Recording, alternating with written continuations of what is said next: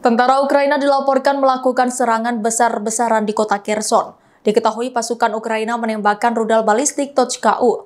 Hal ini dilaporkan melalui telegram Kementerian Pertahanan Rusia pada Kamis 28 April 2022. Dikutip dari tribunmedan.com, militer Rusia melaporkan serangan mengerikan yang dilakukan tentara Ukraina ke arah perumahan warga di kota Kherson. Disebutkan bahwa pada tanggal 27 April sekira pukul 11 malam waktu Moskow, Angkatan Bersenjata Ukraina meluncurkan serangan besar-besaran dengan rudal balistik Tochka-U.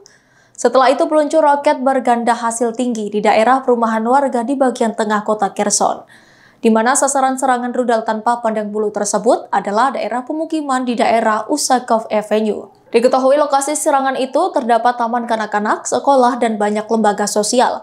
Hal ini merupakan pelanggaran langsung terhadap norma-norma hukum humaniter internasional. Beruntungnya unit pertahanan udara Rusia menangkis serangan rudal oleh pasukan Ukraina di daerah pemukiman Kherson.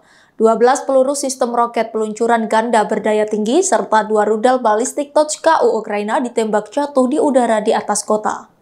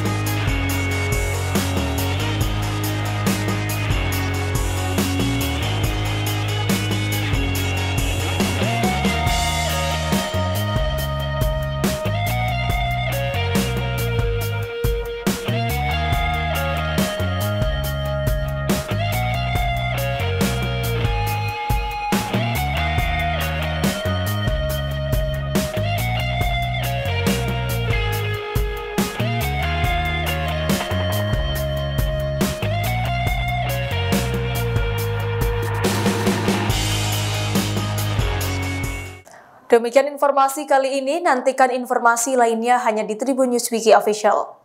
Terima kasih sudah nonton, jangan lupa like, subscribe, dan share ya!